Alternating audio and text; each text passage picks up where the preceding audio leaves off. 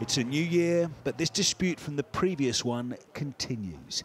RMT union boss Mick Lynch joined the picket line as 80% of trains were cancelled. This, the latest strike in the long-running row over pay and conditions. And today, Mr Lynch accused the government of blocking a deal. There are ways to settle it very quickly, and the government's got to be the facilitator and the key stakeholder in all of those disputes to, in order to resolve them. How impactful has today been? I mean, have people got used to working from home now? It doesn't feel as busy, does it, today? Well, it's not as busy. London is quieter today than it would normally be at the start of the year. That's unfortunate. People do get used to it. I understand that. It's a good day to go on strike because it's not really having the visible impact, is it? I mean, what the visible impact is how quiet it is. There's only 20% of the services running. There'll be less than that later in the week. We don't want that.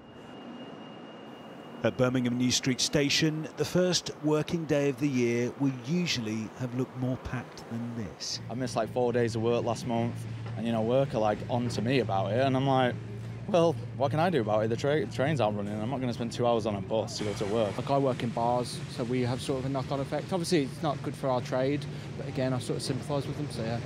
There's nobody about. Nobody's coming into work by the looks of it a part of me thinks people need to just put up and shut up and just get on with things because there's enough problems and enough issues going on. Last month, the RMT rejected Network Rail's offer of a backdated 5% pay rise for last year, with a 4% pay rise this year. But today, their chief negotiator reckoned the strikes could soon be over. Are we really close to getting a deal? Well, I, I really hope so. Um, we made a lot of progress in December. Uh, we're there with two out of the three trade unions. Um, I know a lot of our staff uh, voted yes for the deal, even though the RMT said they shouldn't. That's, you know, that's quite significant. Um, and we know we need about 2,000 people that voted no to switch their votes to yes. Of course, it's not just passengers who've been impacted today. Sam has closed his West London restaurant for this week as he says the dispute is denting trade. December, because of the strikes, uh, wasn't, was, was a very flat December and wasn't the trade that we all needed.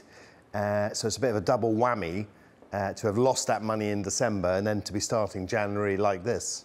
So far, 2023 looks a lot like what came before. The RMT is warning these scenes could stretch into the summer if train bosses and the government refuse to sign off on what they say is a reasonable offer. Julian Druker, 5 News.